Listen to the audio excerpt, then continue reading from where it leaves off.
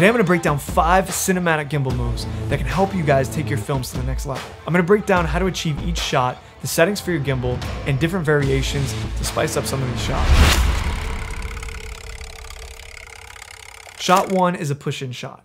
This is a staple for any kind of filmmaking. This shot is great for drawing in your audience and bringing them closer to what's in your frame. Push-in shots are great for building drama and suspense in your scene. To achieve this shot, set your gimbal to lock mode so it doesn't tilt or pan. Then you're gonna wanna start your shot further away from your subject. Hold your camera at eye level and slowly walk toward them. Typically what I like to do is ask my character to give me some sort of movement or action as I'm pushing in to give the scene a little bit more character. But if you really want to spice this shot up, you can start from a low angle as you're pushing in and tilt your camera up to reveal your character. To achieve this, start your shot a little lower than eye level. As you're pushing in, tilt your camera up so you get that really nice, smooth, dramatic pan into your subject's face.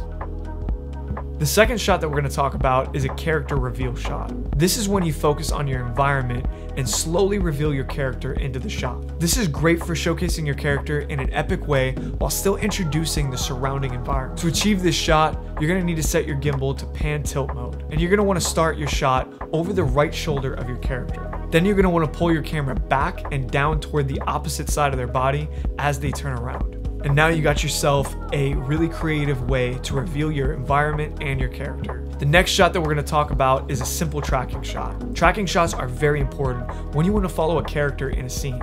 This really has the potential to immerse your audience into whatever action your character is taking. Now, in order to achieve this shot, what you're gonna wanna do is set your gimbal to lock mode and set your subject to the center of the frame and just track your character. Now, you could do this from behind them. You could also track them from a side angle, and this time keep them in the right third of the frame. And what this does is allow your audience to follow your character throughout the frame. Shot number four is a parallax shot. And a parallax shot is keeping your subject in the center of the frame while you move around them. This could be used to show a sense of wonder in your scene, but this could also be used to show a sense of panic or fear in your character. Now, in order to achieve this, what you're gonna wanna do is set your gimbal to pan follow mode, keep your composition at eye level, and slowly move around your subject while you're trying to keep them in the center of the frame.